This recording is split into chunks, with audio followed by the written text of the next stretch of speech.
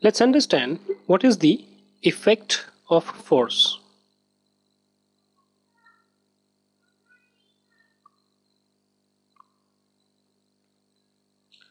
Let's take a football field and I will use this to illustrate all the impacts of force. Let's say this is what a football field is.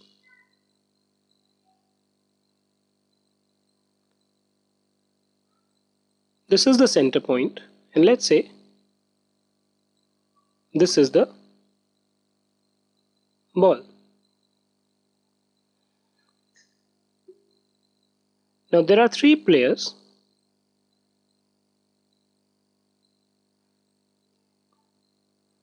Okay.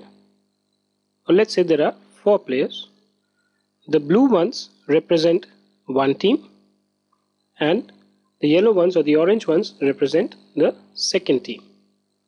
I guess this is creating a little bit of a confusion. Let's say this is the ball. Now when the game starts let's say this guy comes from here and kicks the ball. Okay? So the ball starts moving in this direction and reaches to this person. Okay as the ball was moving here, this person hits the ball towards the goalpost. But what happens is that this guy suddenly comes here and stops the ball on this side. Right? So in this line, let's understand what are the effects of force. Let's call these people as A, B, C and D. So the first impact was of force was when A kicked the ball. Okay. So what did he achieve? By doing this, what A achieved was that he made a stationary, stationary means something which is fixed, which is not moving, ball to move. Now here ball is the object so the first impact of effect of force is that it can make a stationary object to move. Okay. Second, the second force was applied when B, while the ball was moving, hit the ball. He again kicked the ball. So the kick from B, what did it do? It made the moving object, which is ball, move faster. So let's say when A had kicked the ball, it was moving at 10 kilometers per hour. When B hit it, it increased the speed to 15 kilometer per hour.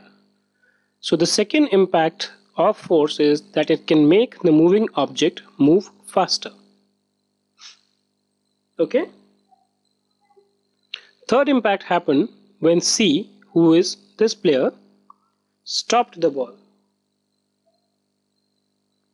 Okay, so what did he do? He applied force on the moving ball which was going towards the goal post and he stopped it. Or maybe he could have slowed it down. So force can stop or slow down a moving object. Okay? Fourth impact. Now just note here that when A had struck the ball it was going moving like this. If B wouldn't have come the ball would have straight away gone like this and would have go, gone outside the playing area.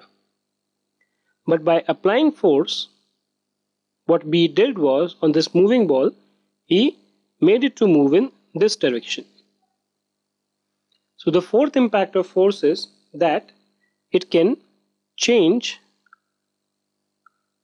direction of moving object.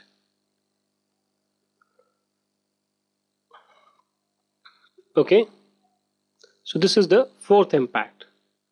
And let's take the last impact of force. Force can also change shape or size of object. Now what happens? Let's say there is a balloon. Okay.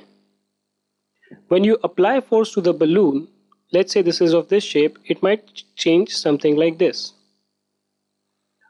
Okay. Or it may burst and become something like this. So by applying force you have changed the shape or size of the object.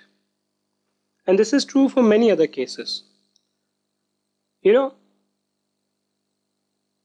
so these are some of the impacts or the effects of force that can take place.